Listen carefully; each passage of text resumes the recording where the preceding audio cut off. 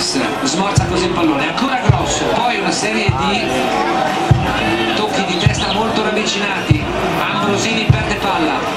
ancora Sergio Ramos ma la riconquista,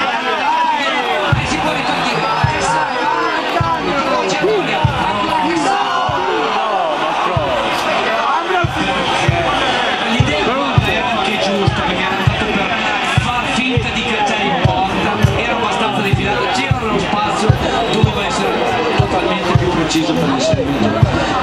de